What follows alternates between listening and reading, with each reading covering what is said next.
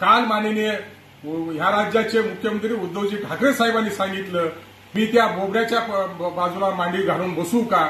पण ज्यांनी शिवसेना प्रमुखांना जेल दाखवली त्याच्या मांडीला मांडी लावून तुम्ही बसता. त्याच्या मांडीला मांडी लावून तुम्ही मंत्रिमंडळामध्ये बसता. ते चालते तुम्हाला. आणि त्याच्यासाठी आम्ही बारा आमदार शिवसेनेचे एक वर्ष विधानमंडळामध्ये निलंबित होतो.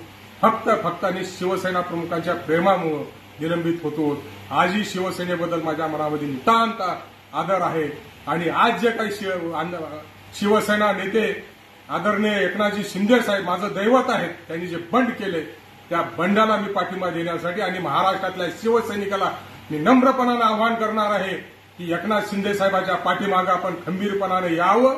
तरच शिवसेना टिकेल आणि महाराष्ट्र टिकणार अशी विनंती. अंतकरणातून मी माझ्या शिवसैनिकाला या ठिकाणी करतो.